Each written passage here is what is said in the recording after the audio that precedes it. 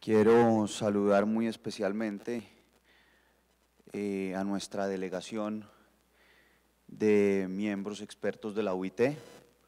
al señor Randall Treviño, director regional de asuntos, eh, adjunto perdón, para las Américas de la UIT, a, eh, a José López Chávez, experto internacional de la UIT, Alonso Llanos, experto también eh, de esa organización, y a Isaac Moreno, también experto que hoy nos acompaña, a Nicolás Silva, director de Industria de Comunicaciones del Ministerio de Tecnologías de Información y Comunicaciones, a Juan José Ramírez, director de Radiodifusión Sonora, eh, a Dora Browsing, subdirectora de RTBC, a los funcionarios de la Agencia Nacional del Espectro, eh, a funcionarios de la Dirección Nacional de Derechos de Autor que también nos acompañan, a los miembros del Ejército Nacional y de la Policía, que también se hicieron presentes hoy, eh, a las agremiaciones presentes también de todas las emisoras de radio a nivel nacional, a los representantes de las cadenas radiales, a las organizaciones de radiodifusión comunitaria y a todos los concesionarios que nos acompañan, adicionalmente a algunos periodistas que también he visto y a los medios de comunicación un saludo muy especial. Pues em, yo personalmente estoy muy contento y estamos muy contentos en el Ministerio de Tecnologías por el evento que estamos realizando el día de hoy. Estamos muy satisfechos porque em, realmente un foro como estos jamás se había hecho. Un foro técnico de radiodifusión sonora en Colombia en sus más de casi ya 100 años, desde 1929 cuando nació esa primera emisora, la HJN de Radio Pública, eh, nunca habíamos hecho un ejercicio como el que estamos haciendo eh, hoy y eso nos tiene que poner muy contentos, no solamente a nosotros como Estado, sino también a todos los actores de la industria que hoy se hacen presentes. Llevamos casi un siglo, como lo decía, em, de evolución del servicio de radiodifusión sonora en el país y yo, al igual que todos ustedes, estoy seguro, absolutamente seguro, que al igual que todos ustedes, me levanto y me acuesto oyendo radio. Me levanto oyendo noticias, me acuesto oyendo programas de deportes, eh, a lo largo del día eh, en el carro o almorzando ponemos algún tipo de programa de entretenimiento y definitivamente Colombia es un país de radio oyentes. Si hay un medio de comunicación por excelencia yo estoy seguro de, afirmar que es la radio el servicio y el mecanismo a través del cual los colombianos nos informamos, eh, también nos divertimos y eso sin duda alguna tiene que ser eh, un punto de análisis para seguir avanzando precisamente en la política pública de radiodifusión a nivel nacional. Nosotros eh, siempre hemos sido unos absolutos respetuosos de la libertad de prensa, es algo que seguiremos eh, empujando, impulsando y encontrarán en este gobierno en particular todo un esfuerzo para lograr que haya una libertad de opinión y en eso, mm, digamos, nuestra labor va a ser únicamente esa, luchar para que haya diversidad de opiniones y que haya diversidad de medios que representen las distintas eh, vertientes eh, filosóficas y políticas y análisis del país. Pero eso no es lo que nos congrega el día de hoy, eso no es lo que nos reúne el día de hoy. Lo que nos reúne el día de hoy es un análisis técnico de la prestación del servicio de radiodifusión sonora. Y ahí es donde queremos construir una línea nueva, fresca, moderna del servicio para que cada vez haya una mejor calidad en la prestación del servicio, haya una mayor cobertura en la prestación del servicio y haya un servicio de radiodifusión que evidentemente eh, apunte a alguno de los modelos que hay a nivel internacional que nos han mostrado eh, la guía para seguir avanzando y para tener oyentes más fidelizados, oyentes más conectados con la radio, eh, y oyentes que incluso puedan interactuar ya con nuevos mecanismos de radiodifusión.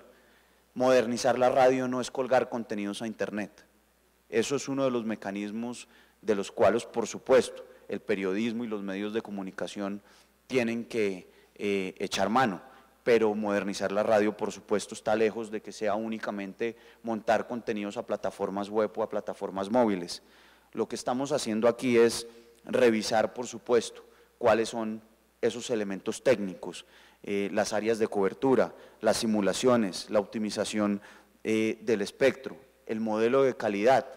que vale la pena mencionarlo en Colombia a hoy, no tenemos un modelo claro, establecido en términos de calidad. Desde 1995 que salió el primer plan técnico de radio, no hemos tenido una actualización del mismo en esos aspectos que acabo de mencionar. Sí hemos hecho, por supuesto, modificaciones eh, para asignaciones eh, de frecuencias en algunos lugares del país, eh, pero más allá de eso, que es el día a día de la gestión del, del espectro y de la gestión del servicio de radiodifusión sonora, no hemos hecho y no hemos tenido avances contundentes en los sistemas y en la modernización de los mecanismos que tenemos para prestar este servicio. Entonces, ese contraste que tenemos en un muy robusto periodismo, un muy, muy robusto sistema eh, de radio pública, un muy robusto sistema de radio eh, privada y comunitaria, pues eh, no se refleja con un avance contundente precisamente en la modernización de nuestros sistemas. Y es por eso que estamos hoy aquí con la UIT, y es por eso que celebramos un acuerdo con la UIT ya hace algunos meses y venimos ejecutando precisamente ese acuerdo, porque la UIT sin duda alguna es el organismo experto con mayor reconocimiento, mayor trayectoria, mayor experiencia, con expertos de todo el mundo, con el conocimiento más amplio para mostrarnos a nosotros aquí en Colombia cuáles deben ser los siguientes pasos para precisamente tener una modernización en nuestro servicio de radiodifusión. Eh, vamos a revisar casos como por ejemplo el de Estados Unidos, como por ejemplo el de el Reino Unido, eh, con los diferentes sistemas con, o los diferentes modelos, el IVOC y el DAP, eh, también la radio híbrida. Vamos a hacer un análisis también del contexto latinoamericano, de ver cómo, por ejemplo, eh, en México ya se ha avanzado de manera significativa, cómo también en Perú, a pesar de que se ha avanzado, hay algunos inconvenientes, y cómo en, en, Brasil, por ejemplo, también hay unos avances importantes, incluso con una organización institucional, con un comité consultivo para el ministro de ese país en materia de radiodifusión sonora y de digitalización de la radio. Ver todos estos... Eh, casos y estos ejemplos nos van a servir mucho para que todos los que estamos aquí aprovechemos este espacio en construir una agenda y un plan de trabajo, una política pública que esté dirigida precisamente a eso que mencionaba ahora de modernización de la radio. Contamos con la presencia de Isaac Moreno, que es un experto que ha estado precisamente en estos procesos de digitalización, particularmente en España, hoy miembro del COPE, eh, para que nos cuente precisamente cómo ha sido ese proceso, cuáles han sido las dificultades que han enfrentado y cuáles son sus recomendaciones eh, precisamente para Colombia en términos eh, generales. yo quiero de nuevo celebrar la presencia de todos ustedes, la presencia de los distintos actores del sector, los públicos, los privados, los comunitarios, los periodistas, y por supuesto celebrar la presencia de la UIT eh, que nos ayuda precisamente con sus luces a establecer esa línea de trabajo que vamos a tener eh,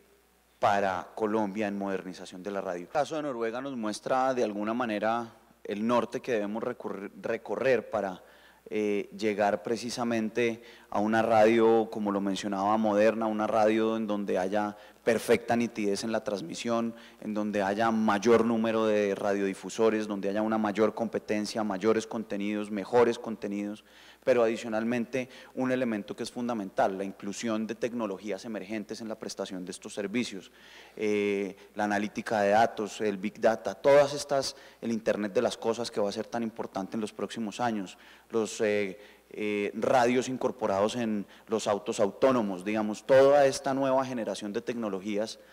tiene que de alguna manera encontrarse con la prestación del servicio de radio y con los sistemas que estamos utilizando precisamente para ello.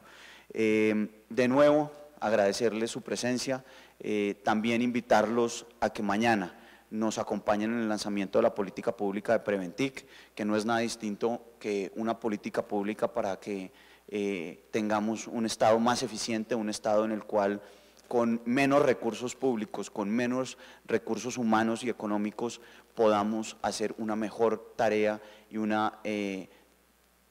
mm, un ejercicio de la facultad de vigilancia y control mucho más efectivo y eficiente con relación a nuestros prestadores de todos los servicios, pero en especial al de radiodifusión sonora. Estamos convencidos que a través del acompañamiento, de la asesoría, de mostrarle a todos los prestadores de servicio cuáles son sus obligaciones legales, contractuales, que deben cumplir, en qué momento las deben cumplir, cómo las deben cumplir, desplazándonos a las regiones para reunirnos con eh, los prestadores de los servicios de esos lugares, que es una tarea muy importante porque eh, no solamente en radiofusión, también en telecomunicaciones y en servicios postales, vemos nosotros que no solamente el país está compuesto de prestadores de servicio eh, a nivel nacional. Una cosa son los prestadores de radio grandes, las cadenas eh, fuertes, pero en las regiones también hay muchos prestadores de servicios, hay empresas regionales, locales, que todos los días están haciendo su mejor esfuerzo para prestar unos buenos servicios a los colombianos. Entonces tenemos que ir a esas regiones a fortalecer precisamente la industria en esos lugares, digamos, eh, remotos y alejados de las capitales del país y ese es el ejercicio que estamos haciendo con Preventic. Entonces, también invitarlos a que nos acompañen mañana. Mm, vamos a tener una jornada también eh, técnica de capacitación durante la mañana y en la tarde vamos a tener un espacio para que con los funcionarios del ministerio eh, podamos atender tanto sus dudas como los trámites que tengan pendientes en cualquier tipo eh, de, en cualquiera de los eh, tres servicios bajo los cuales hacemos la vigilancia y el control. Eh, radiodifusión, postales y telecomunicaciones. Entonces eh, creo que es un espacio bastante importante y pertinente para que lo aprovechen y en la medida en que encuentren algún tipo de incumplimiento en sus obligaciones, podamos proceder a la firma de un acuerdo de cumplimiento para precisamente no entrar en un desgaste administrativo para sanciones, sino que por el contrario logremos corregir los incumplimientos y se preste de nuevo un servicio con el cumplimiento de esos requisitos, pero adicionalmente con mejor calidad y mayor eficiencia. A todos, eh, muchas gracias por su presencia y espero que disfruten mucho de las conferencias y del espacio que vamos a tener hoy con los expertos de la UIT que nos acompañan y que se sientan libres y tranquilos de hacer las preguntas que correspondan y de aportar a esta conversación y a la construcción de este plan que queremos construir para que Colombia se vuelva un referente en la región, no solamente en contenidos, en periodismo y en, eh, en esa capacidad que tenemos de transmitir eh, precisamente lo que acontece en el país a través de la radio, sino que también tengamos unos sistemas de radiodifusión y una radio moderna, técnica y a la vanguardia. Muchas gracias a todos.